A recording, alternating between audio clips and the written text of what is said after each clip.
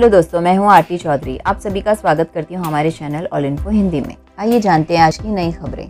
Corona महामारी की वजह से पिछले काफ़ी समय से कई ट्रेनों का संचालन बंद है, लेकिन जैसे जैसे कोरोना की वैक्सीन की खबर सामने आ रही है और हालात बेहतर हो रहे हैं, ट्रेनों के संचालन में भी छूट दी जा रही है। सेंट्रल रेलवे ने कहा कि इसी कड़ी में 10 एयर कंडीशन ट्रेनों के संचालन का फैसला लिया है। आज से कोरोना संकट के बीच 10 एसी लोकल ट्रेन की सेवाओं को फिर से शुरू किया जा रहा है। ये एसी लोकल सेवा Chhatrapati Shivaji Maharaj terminus to Kalyan section पर पहले से चली आ रही साधारण सबर्बन ट्रेनों की जगह लेगी। 10 एसी लोकल ट्रेनों में दो ट्रेनें छत्रपति शिवाजी महाराज टर्मिनस और कल्याण के बीच चलेगी। चार ट्रेनें सीएसएमटी और डोंबिवली के बीच और चार ट्रेनें सीएसएमटी से कुरला के बीच चलेगी।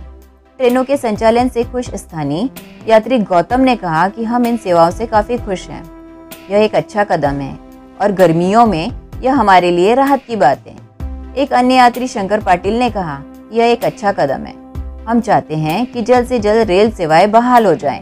इसी लोकल सेवा कुरला के लिए सीएसएमटी से सुबह पाँच बजकर बयालीस बजे रवाना हुई, जबकि आखिरी लोकल ट्रेन सीएसएमटी से कुरला के लिए रात ग्यारह बजकर पच्चीस मिनट बजे रवाना होगी।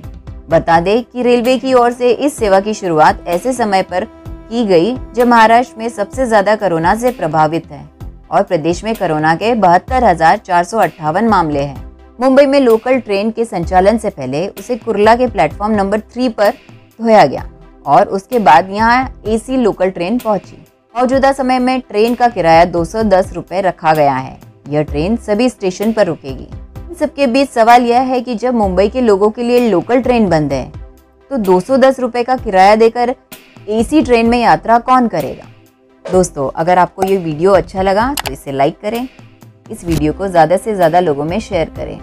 वीडियो की नई अपडेट्स पाने के लिए हमारे चैनल ऑल इन्फो हिंदी को सब्सक्राइब करें और बेल आइकन को प्रेस करना ना भूलें। धन्यवाद।